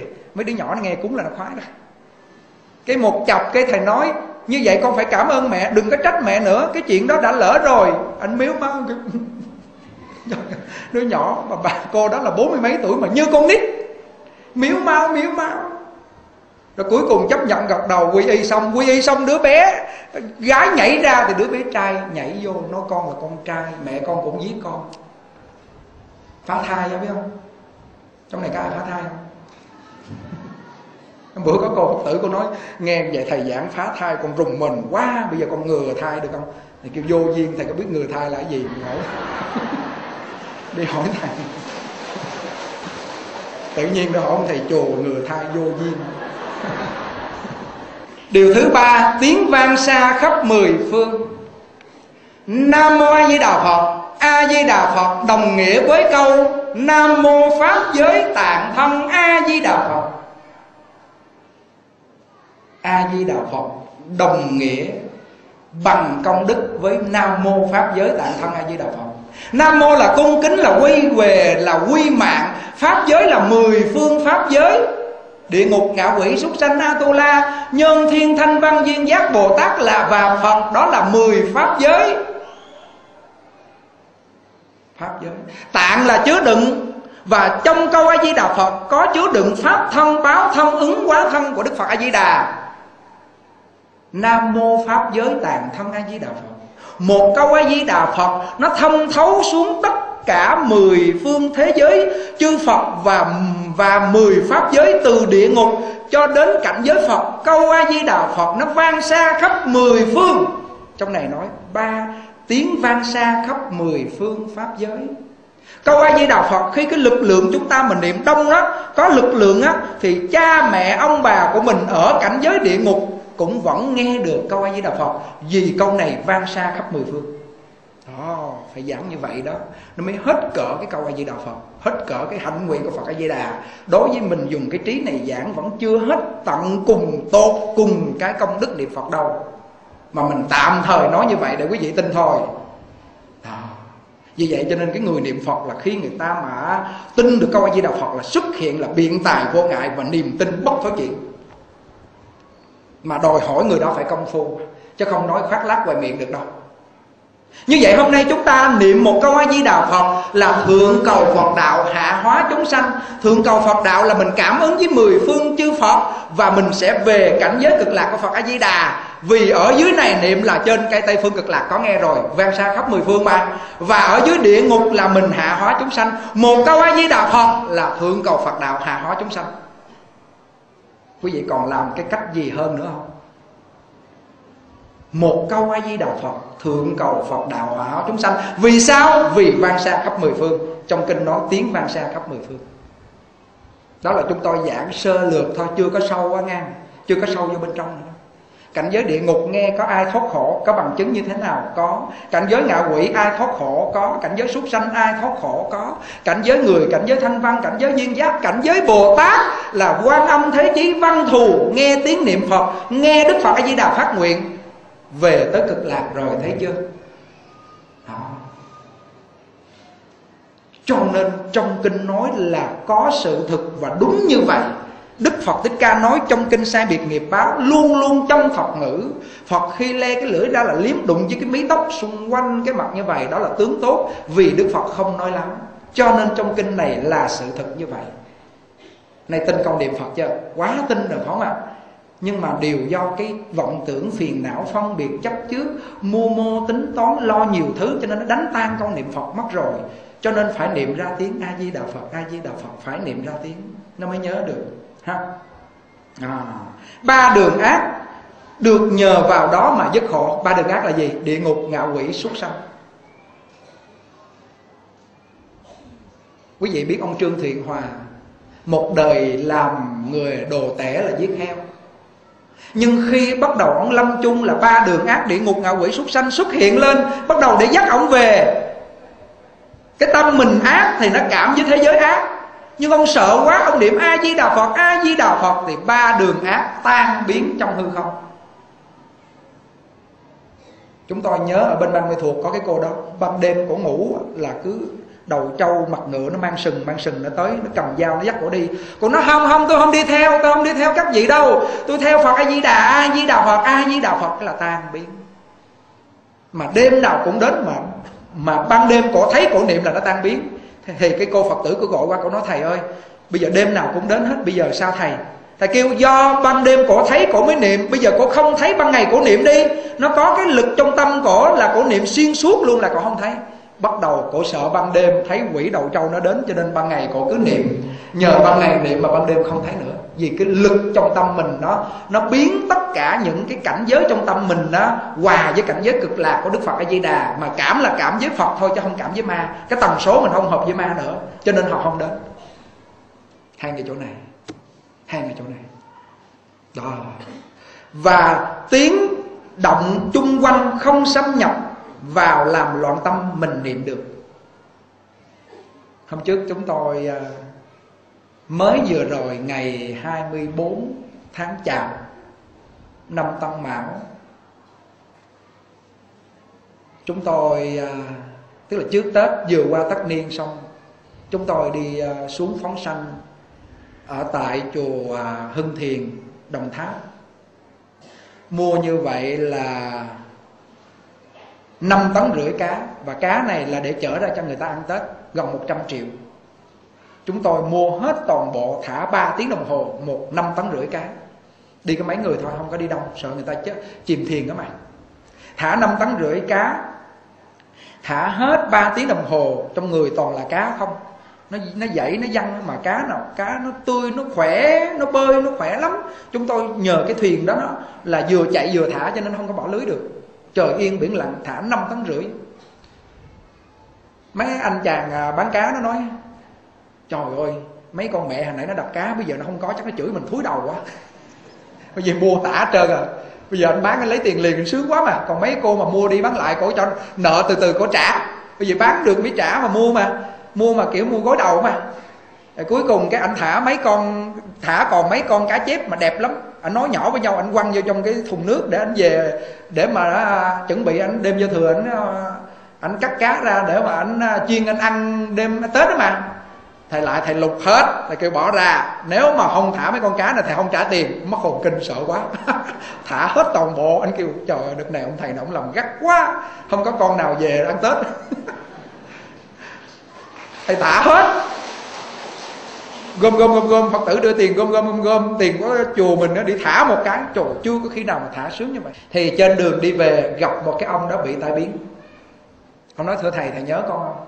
Lúc con lên chùa, thầy là con tai biến, con đi không được. Mà con vô, con gặp thầy thầy kêu con niệm phật. Con niệm từ tại chùa thầy. Tai biến chống gậy đi mà yếu lắm. Mà từ chùa thầy lên tới khách sạn. Khi lên tới khách sạn, con bỏ gậy, con đứng một cái, gia đình con mất hồn luôn. Vừa người là khóc, người thì vỗ tay ông hỏi thầy biết vì sao con định gọi điện hỏi thầy thầy kêu, do cái tinh thần ông nó định tĩnh, nó có một cái năng lực niệm phật cho nên thành ra nó chống chọi lại được cái thân ông đứng dậy bình thường luôn. Ông đứng dậy được, bây giờ ông đi, ông chống sơ sơ thôi. Ông nói một câu này hay. Nó hợp với cái câu này. Tiếng động bên ngoài không xâm nhập được người niệm phật ông nói lúc trước mỗi lần con con á, mà con niệm phật nó mở nhạc đang trường chế linh hoặc là phim ảnh á con buồn con la nó biết nhưng mà nó kêu ba niệm thì niệm con mở thì mở chứ ba cái cớ gì ba kỳ cục niệm phật mà sao khó như bà chằn vậy? Nó chơi con vậy đó. Con kêu à mày chơi tao ha tao niệm cho mày biết. Ông niệm luôn bây giờ nó mở nhạc mà nó cái chéo chéo chéo chéo bên tai không nghe hát cái gì? Trời ông mừng. Ông kêu trời bữa nay đã thì cả thầy? Con bắt đầu đề khởi a di đà phật lên một cái là nó mở nhạc kệ đó tiếng niệm phật trong tâm con luôn luôn trôi chảy như một dòng suối. Còn nó ở bên ngoài nó mở nhạc đa, đang trường chế linh. Nó hỏi ba có nghe không? Ông kêu không. Ông kêu không. Không nghe. Ba đang nghe câu a di đà phật. Tiếng bên ngoài không bể được câu a di đà phật không làm câu a di đà phật mất phương hướng. Vì do ổng niệm lớn tiếng khi niệm lớn tiếng được rồi, thì sao? Thì niệm thầm vẫn nghe được câu niệm mà tiếng động, tiếng nhạc, tiếng xe bên ngoài không làm ảnh hưởng người niệm phật. Tiếng động chung quanh không xâm nhập và làm loạn tâm người niệm phật. Hay không? Quá hay luôn. Đó là bằng chứng sự thật. Và lúc chúng tôi niệm phật có một lần á, là cái tiếng mưa càng lớn thì tiếng niệm phật càng lớn lên. Nó lạ bởi vì trong đó cái khu đó là không có không có tiếng xe, không có tiếng gì hết. Và tiếng mưa càng lớn thì tiếng niệm phật càng lớn, tiếng mưa nhỏ thì niệm phật nhỏ lại, và ngưng mưa vẫn còn niệm phật. Không mất tiếng niệm phật. Phải tập thôi quý vị ơi, ai cũng phải tập thành thói quen, làm cái gì cũng tập. Ăn cơm cũng phải tập, uống thuốc cũng phải tập, bất cứ làm cái gì cũng tập. Không tập niệm phật mà đòi nhất tâm à không niệm phật mà đòi tiêu phiền não à. Nhiều phật tử nói, trời, sao mà con ngồi niệm phật là phiền não kéo đến? Hàng ngày niệm được mấy tiếng? 24 tiếng đồng hồ niệm chưa được hai tiếng. Toàn là niệm phiền não thì ngồi xuống nó nhớ phiền não là chuyện dĩ nhiên. Đúng mà đó cho hàng ngày niệm phật nhiều thì làm gì có phiền não? Quý vị coi kỹ lại coi. Khi đụng việc thì làm việc, nhưng hết việc là giữ câu a di đà phật liền. Thì làm gì có xảy ra? Đi chợ sắp xếp mua cái gì rồi, trên đường đi cứ việc niệm phật thôi. Do mình bỏ câu niệm phật, thấy câu niệm phật là là phù chứ không phải là chánh. Cho nên thành ra mình bỏ. Nhớ niệm, nhớ là thôi. Đúng không ạ? Cho nên làm sao mà thành tựu được đạo nghiệp, thành tựu được cái niệm phật nhất tâm được? Trời ơi, thầy xuống khu chiên tu với các chú niệm sanh sương á, một ngày 16 tiếng. 4 giờ đến gì ba rưỡi đến bảy rưỡi. Ăn chút xíu sơ cái, bắt đầu nghỉ tiếng đồng hồ tám rưỡi, niệm đến 12 rưỡi nghỉ tiếng đồng hồ một rưỡi đến năm rưỡi. Nghỉ một chút xíu, sáu rưỡi đến 11 10 giờ rưỡi. 4 tiếng 4 lần một lần 4 tiếng 16 tiếng đồng hồ. Vậy mà vọng tưởng nó còn sáng tạp Vì mình mới niệm bây giờ, Còn vọng tưởng nhiều kiếp đến bây giờ mà. Tu dậy mà còn chưa thấy gì. Thanh niên á, Mà niệm gồng mình sanh xương á, Chứ không phải dễ đâu à Nói như vậy không phải niệm Phật là khó, Nhưng mà chúng ta phải tinh tấn. Tinh là tinh chuyên, không xem tập Không xen tạp Tinh tức là tinh chuyên một môn vô lượng thọ, Một bộ kinh vô lượng thọ, Bốn chữ A-di Đà Phật, Gọi là tinh chuyên Nhớ chữ tinh không ạ? Tinh là tinh chuyên Tấn là tiến tới. Đó, Nghe chữ tinh tấn như vậy, ha. Thứ thứ sáu là niệm tâm không tán loạn. Khi tâm quý vị tán loạn, Khi tâm quý vị bị tự nhiên nó sợ sệt, hốt hoảng. Chuyện này, chuyện nọ nó đến với mình, nó đang bị tán loạn. Giữ câu a di đà phật, đề khởi câu a di đà phật, niệm lên một cái tâm nó định liền nhưng mà hàng ngày không chịu tập lúc tán loạn đố mà niệm được. Cái lực tán loạn nó mạnh hơn cái lực niệm phật thì lúc đó đố mà quý vị niệm được. Nhưng nếu mà kiên tâm quyết chí á mình niệm một chập thì cái tâm mình nó cũng gom về định được thôi. Nó không bị tán loạn. Mà tâm tán loạn là khổ đau. Đúng không? Tâm tán loạn là là suy nghĩ vớ vẩn là là bị khổ đau tạo nghiệp ác liền. À, chư phật vui mừng. Do nguyện thứ 17 hồi nãy chúng tôi có nói khi con thành Phật, Mười phương chư Phật, Không tán thán danh hiệu của con. Mà khi quý vị niệm danh hiệu Phật A-di-đà, Là quý vị tán thán danh hiệu Đức Phật A-di-đà, Thì mười phương chư Phật cũng tán thán quý vị luôn. Hai ngày chỗ này. Chư Phật vui mừng quan hỷ. Mà khi chư Phật vui mừng quan hỷ Là công việc gì quý vị cũng kiết lợi. Làm việc gì cũng thành công. Có nhiều người nói ông thầy nhàn Ông giảng cái gì cũng lợi ích về câu niệm Phật. Tôi không tin, Bởi vì không niệm cho nên đâu có tin. Đúng không ạ? Mà quý vị niệm đi, Niệm cho tới nơi đi, Tinh tấn niệm đi, Thì chắc chắn là nó sẽ thay đổi tin Quý vị thấy hồi trước chúng tôi ở đây, Sơ sài hai bên hông này là hai cái vách cái vách gọi là che bạc, dừng bạc. Năm 2000 á, lẻ bảy là che bạc, dừng bạc. Trên này là cái mái tôn mà nắng nóng, mưa nó tạt là phải sách kệ chạy.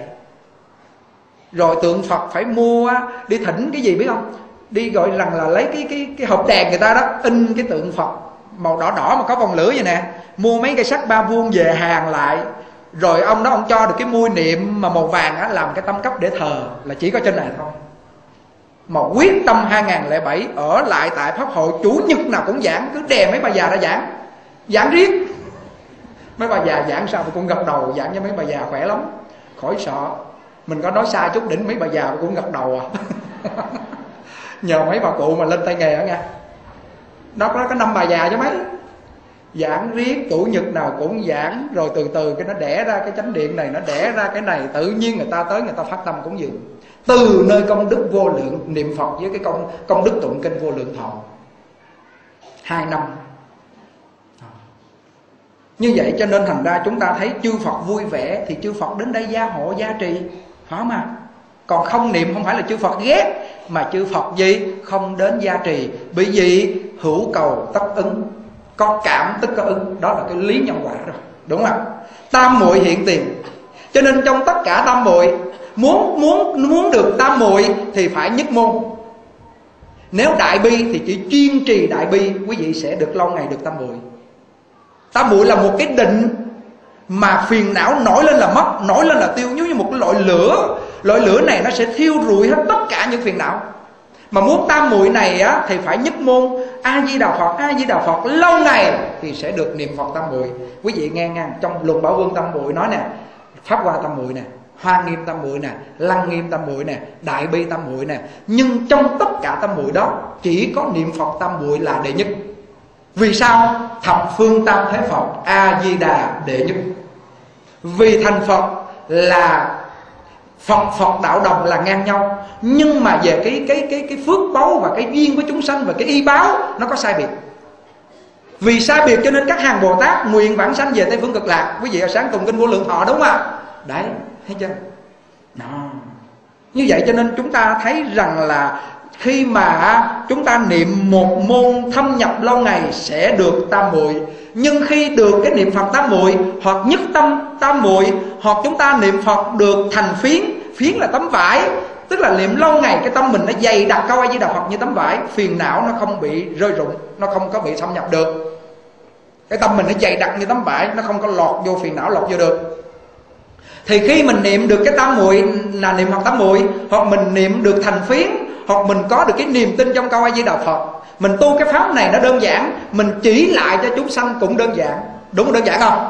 Người không biết chữ mình chỉ cũng được, người dốt nát mình chỉ cũng được, căn cơ hạ liệt mình chỉ cũng được, và các căn cơ thượng căn mình chỉ cũng được. Vì pháp môn tịnh độ là tam căn phổ bị, phàm thánh gồm thâu.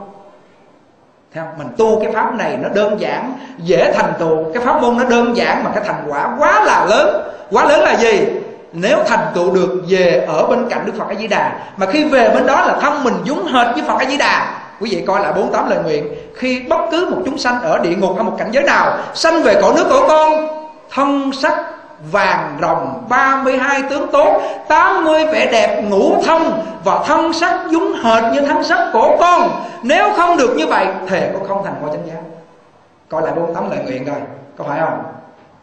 Bữa nay kinh nằm lòng rồi, Ngày nào cũng tụng đó mà. Ừ. Thấy như vậy, chỉ có niệm A Di Đà Phật, thân mang một thân xác phàm phu ở cõi ta bà ngũ trừ các thế này, mà khi vãng sanh được một cái quả báo như vậy. Dễ sợ chưa? Đúng là câu pháp môn khó tin. Chư phật phải gì? Phải gì? Phải tán thán những người tin về pháp môn tịnh độ này. Và được vãng sanh nếu người này đầy đủ tính nguyện hạnh và vãng sanh được hay không là do tính nguyện. Mà quý vị muốn có được niềm tin thì quý vị phải nghĩ đến cảnh giới cực lạc, nghĩ đến phật a di đà muốn nghĩ đến cảnh giới cực lạc, muốn nghĩ đến phật a di đà muốn nghĩ đến 48 lời nguyện thì một ngày phải tụng ba bộ. Đó là tiêu chuẩn và thượng tịnh không nói. Ba năm là ba ngàn bộ. Ai tụng được ngày ba bộ chưa? Một bộ chưa có. Nếu một bộ là phải chín năm, chưa nói ăn đám cưới, bắt đầu đi xin nê rồi nữa. Phải không? Thì phải gì suốt đời. Bởi vì một đời này về cảnh giới đó, chỉ cần lúc lâm chung cảnh giới đó xuất hiện, phật xuất hiện, nhiêu đó thôi, nhiêu đó thôi, chỉ cần nhiêu đó thôi, thì bây giờ mình làm một môn thôi. Hợp lý không? Hợp lý. Lựa công gấp mắm, biết căn cơ mình là hạ liệt, nghiệp chướng sâu dày. Thôi niệm a di đà phật cho nó chắc cứu cho rồi. Hả mà? Còn ai muốn tu thiền, tu mật, tu gì đó là tùy họ, mình không chê ba chỉ trích. Thiền tịnh mật đều là phật nói mình có quyền vì ca ngợi xiển dương pháp môn của mình, nhưng không cho phép chê bai pháp môn khác. Vì pháp môn khác, thiền tịnh là là mật tông hay là thiền tông cũng là phật nói. Chớ dại mà chê bai chê bai là đọa địa ngục chết có nhiều người chê bai pháp môn tịnh độ. Người niệm phật là theo à, pháp môn hèn yếu là theo à, nương vào tha lực làm theo tu theo bà già con nít. Pháp môn niệm phật chỉ dành dành cho những người à, mà ngáp ngáp gần chết rồi mới tu chứ ai còn sống mà niệm phật. Chán đời điên á. Dễ sợ vậy là quan âm bồ tát cũng điên dữ á. Thế chí cũng điên á. Ngày giờ cho nó ngày giờ cất lạc rồi đó. Mã minh long tượng trong nhà thiền cũng điên dữ á. Về cực lạc rồi ấm quan đại sư cũng về cực lạc thôi. vậy mà chúng ta còn ngồi đây mà chết khứ à? Đọa chết nha quý vị. Đừng có dạy đừng có nghe người ta nói. Tu tịnh độ cứ tụng vô lượng thọ, lão lão thật thật niệm phật. Có tiền có tiền ở in kinh, ấn tống, phóng sanh, làm lành. Mà mình tu từ cái sự này đi. Sự là gì? Niệm phật lớn tiếng. Sự là gì? Là lạy phật. Sự là gì? Là tụng kinh. Sự là gì? Là phóng sanh. Sự là gì? Là ăn chay sự là gì? Là ấm tống văn tượng phật. Cứ như vậy mà làm đi. Từ từ rồi nó đạt cái lý. Đừng có bỏ sự đó mà chấp lý. Ngông ngông nghênh nghênh là chết. Hmm. Hỏi ăn chay chưa? Lòng mình là chay rồi còn gì ăn chay nữa. Phải vậy không? Nếu mình như vậy là mình phải đặt như ngày tới điên. Ăn một con gà phải trong con gà, trong cái miệng bay ra. Được không? Ăn rồi thèm chảy nước miếng à? Chảy nước miếng mà đòi nói chuyện đó. Chết rồi chảy nước miếng thèm là thành nghiệp rồi. À, hết 10 công đức niệm Phật lớn tiếng. Bây giờ chúng ta bước sang 10 công đức lạy Phật. Về thời gian không có cho nên chúng tôi đi hơi nhanh. Chứ đúng ra cái thời gian này chúng tôi phải mổ xẻ sâu hơn ha. mười công đức lại Phật được sắc thân tốt đẹp. Thứ hai nói ra điều chi ai cũng tin dùng. Thứ ba không sợ sệt giữa đông người thứ tư được chư Phật giúp đỡ. Thứ năm đầy đủ oai nghi lớn lao. Thứ sáu mọi người đều nương theo mình. Thứ bảy chư thiên cung kính. Thứ tám đủ phước đức lớn. Thứ chín lâm chung được vãng sanh. Thứ mười mau chứng niết bàn. Trong kinh nghiệp báo sai biệt giờ chúng tôi giảng từng điều. Không có thời gian đúng một điều này phải một tiếng đồng hồ mới hết. Cái này phải giảng hai chục tiếng mới hết. Hai chục hai chục uh, cái công đức này. Thứ nhất sắc thân xinh đẹp.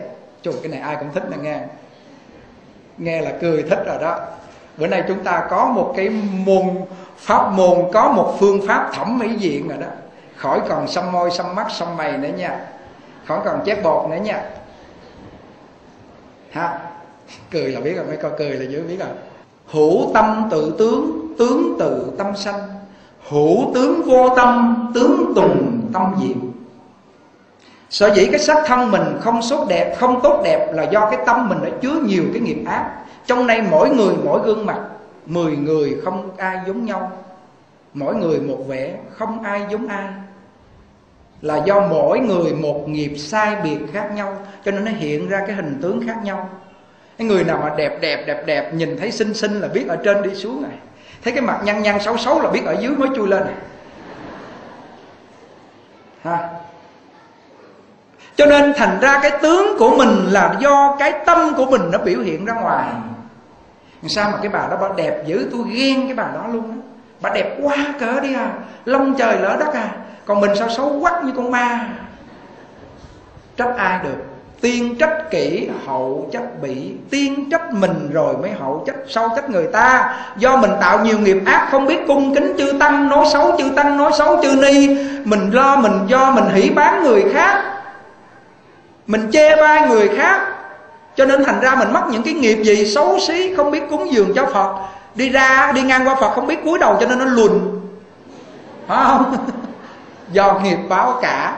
Không có ông trời nào ông phạt ta. Nói má kỳ cục quá.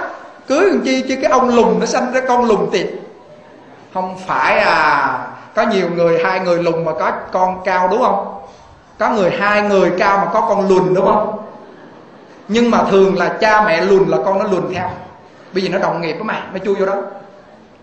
Đúng không nghiệp như thế nào mình phải lãnh đủ cái tướng như thế đó. Và nghiệp mình như thế nào mình phải ở trong căn nhà đó hưởng phước báu như rứa thôi. Cái chén nhiêu đây thì mưa bao nhiêu nó cũng đựng nước nhiêu đây. Mưa nhiều thì nó sẽ tràn ra. Cái tâm mình nó nhỏ hẹp như vậy mà đòi làm tỷ phú à. Không có đâu, đừng có mơ muốn như vậy thì phải làm phước, phải tu hành, thay đổi cái tâm. Mà cái cách thay đổi cái tâm để tướng hảo nhanh nhất, đó là niệm a di đà phật. Theo 10 công đức lại phật có nói. À nhanh nhất đúng không ạ? Bây giờ mình đi chân bông cho phật, cũng được, cũng làm. Mà mong một việc đó để cho tướng đẹp lâu lắm. Phật dạy trong kinh, muốn cho nhanh, niệm a di đà phật, hảo tướng sẽ xuất hiện chúng tôi nhớ lúc trước hòa thượng tịnh không lúc bốn mươi mấy tuổi là gương mặt ngài chết yểu. Nó nhọn như vậy, nó không có bầu ra đầy đặn như vậy, không có phúc hậu. Và 45 tuổi ngài tưởng chết rồi ngài vô đóng cửa ngài niệm Phật. Hai người bạn, một người tu thiền, người tu về luật, cuối cùng qua đời hết. Ngài vô ngài niệm một tháng sau, ngài qua khỏi luôn. Đến bây giờ 86 tuổi gương mặt hồng hào láng lẫy và không tha một cái phấn gì mà da láng mà đẹp. Mịn lúc trước chúng tôi qua hồng kông thấy mà da đẹp mà như là pho một cái phấn gì đó. Mà chắc chắn là phấn a di đà rồi. Không à. Không à. Hôm nay quý vị muốn đẹp không? Ai cũng muốn hết á.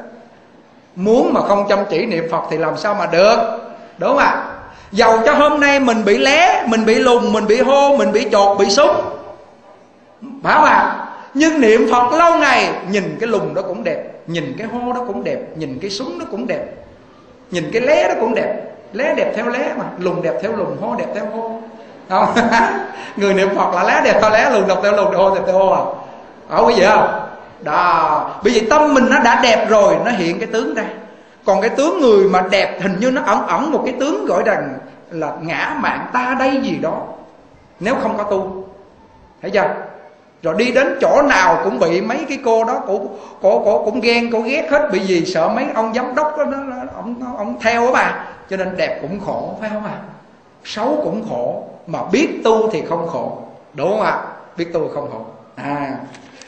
Như vậy hôm nay được săn được sắc thân tốt đẹp. Tốt tức là mạnh khỏe. Không à đẹp tức là là hoan hỷ và nhìn nhìn người ta có sắc diện đẹp vì sao vậy? Vì trong câu a di đà phật có vô lượng vẻ đẹp trong đó. Câu a di đà phật có vô lượng tướng tốt trong đó. Cho nên người niệm phật thì được tướng tốt và vẻ đẹp là chuyện dĩ nhiên. Đây là trong kinh nói ha, chúng ta mổ sẽ thêm thôi.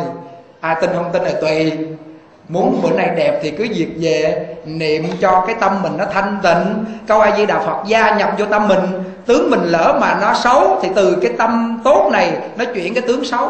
Còn tướng mình mà tốt mà có cái tâm xấu thì từ từ cái tướng tốt này nó theo cái tâm xấu mà nó diệt đi. Tướng tuần tâm diệt mà, tướng theo tâm mà diệt. Nếu tâm mà xấu thì cái tướng tốt này cũng theo cái cái tướng tốt này cũng theo cái tâm xấu mà nó diệt tước mất cái tiếng tốt này đi. Được chưa? Nhất thiết gì tâm tạo mà. Đây. Nói ra điều chi ai cũng tin dùng. Vì sao? Vì người niệm phật người ta ít nói láo, người ta sợ nói láo, người ta luôn luôn nói chân thật, người ta không tự dối người ta. Cái người niệm phật người ta không dối họ, cho nên họ nói ra cái điều chi nó có cái đức tin trong đó, làm cho người ta tin tưởng. Cái gì thấy không à cái người niệm phật, sở dĩ nó tiêu cái công đức là do mình dối.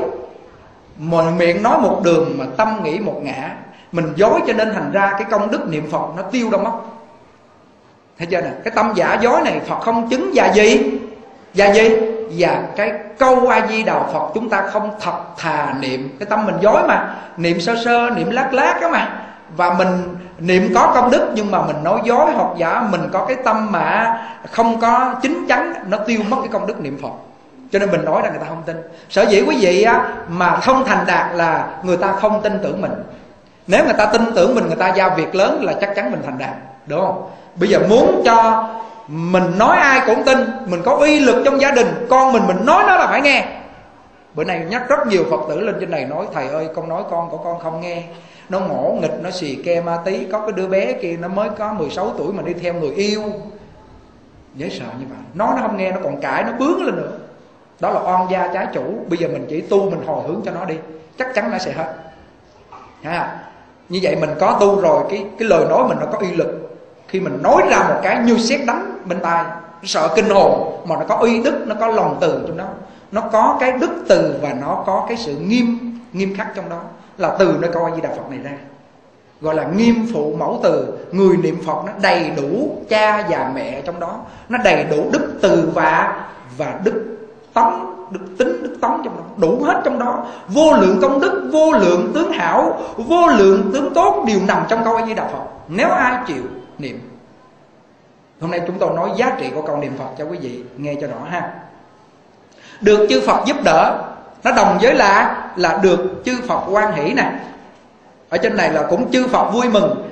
Vui mừng tức là hoan hỷ, vui mừng tức là hoan hỷ, khen ngợi quý vị. Còn giúp đỡ là làm sao? Giúp đỡ là khi quý vị gặp hoạn nạn, thì phật giúp đỡ bằng cách nào? Ví dụ, mình đang sân hận, bực bội, mới đi chùa về đầu năm mùng bảy tết lên thầy nhàn nghe giảng cái mặt hấn hở, ra kêu, bà, cái mặt như cục cái bữa ăn cắp tiền của tôi. Bắt đầu nổi sân lên rồi, chuẩn bị rồi, sang tay áo rồi. Tự nhiên nhớ lại, a di đà phật, a di đà phật. Tự nhiên nó hiền xuống là phật giúp đỡ đó. nổi nóng lên mà niệm a di đà phật. Hết nổi nóng đó là phật giúp đỡ. Chứ không phải kêu nghe thầy nhàn nói phật giúp đỡ chiều mua dây số coi. Mua giấy số không trúng kêu vậy mà nói Phật giúp đỡ. Nói sai. Không phải phật giúp đỡ vật chất đâu. Phật giúp đỡ cho mình có trí tuệ có định lực có an lạc có an vui. Mà có an lạc có an vui có trí tuệ thì quý vị sẽ có tất cả. Đồng ý chỗ này không? Đó. Ai, như vậy chúng ta phải hiểu rõ trong kinh nó là giúp đỡ bằng cách nào? Giúp đỡ từ cái si mê của mình nó trở thành trí tuệ. Vì a là vô di đà là lượng phật là giác, niệm a di đà phật. Cái cái cái quả giác này á, mà nó sinh hoạt lâu ngày trong tâm chúng ta thì nó khai mở trí tuệ, thì mình si mê phật giúp đỡ cho mình được sáng suốt trí tuệ. Chứ phật không phải ở cực lạc, đem cái tánh giác đó cho mình mà mình ngồi không không phải đâu. Phải niệm phật mới được. Được chưa? Từ một cái tham lam vì cái tham lam đi đâu cũng cầu cạnh Đi đâu cũng thấy thiếu thốn, Đi đâu cũng thấy mình đã thua thiệt, Đi đâu cũng muốn wow quơ quét vô trong con người mình. Càng như vậy là càng hết phước, Càng gì? Càng nghèo khổ. Hôm nay mình niệm A Di Đà Phật, Thấy không có thiếu thốn nữa rồi. A Di Đà Phật là vô lượng công đức rồi. Niệm lâu ngày, Tâm lượng khai mở ra Và tâm lượng rộng lượng ra. Và gì? Và hết cái nghèo này. Hết cái nghèo hết cả thấy thiếu thốn, hết cái tham, trở thành lòng từ bi bố thí, là giàu có phật giúp đỡ như vậy nha. Thấy chưa? Đó, phật giúp đỡ là vậy đó. Ừ. rồi si mê, không biết đâu là phước, là tội và chánh, là tà. Không biết bố thí, cúng dường, phóng sanh, in kinh, làm tượng phật. Không biết gì nữa cả. Hôm nay niệm a di đà phật, tự nhiên lòng thương mình xuất hiện lên. Biết làm lành, biết làm phước biết đâu là tội là phước. Trí tuệ nó phân minh rõ ràng là phật cho cái đó, phật giúp đỡ cái đó. Mà đã có được từ bi, trí tuệ, vô ngã, vị tha rồi thì sẽ có tất cả. Mà sẽ tin vô đi câu ai với đạo phật là vô lượng công đức. Từ cái công đức này nó sanh ra cái phước báu là nhà, cửa, xe cộ tiền, tài, sức khỏe và đầy đủ hết từ nơi cái gốc công đức a di đà phật này sanh ra cho nên bà lưu tố văn bà nói khi bà ra đi, bà để lại cho con bà, di sản bà là bốn câu a di đà phật. Tài sản bà bà di chúc là bốn chữ a di đà phật. Nếu con trai để sáu chữ, mà con gái để bốn chữ là chưa có bình đẳng, bà niệm bốn chữ cho nên bà nói cái kiểu đó. Bữa nay mới có hai cái đĩa mới của bà. Ung thư tuyệt chứng bất trị, vậy mà niệm phật hết bệnh ung thư. Tuyệt chứng bất trị. Da gọi là ung thư da. 10 người chết hết 10 người, còn bà sống sót. Hay nay mới có hai cái điểm mới. Tuyệt chiêu mấy cái người niệm phật. À. được chư phật giúp đỡ là không những được đức phật a di đà giúp đỡ cho mình cái gì? Ra khỏi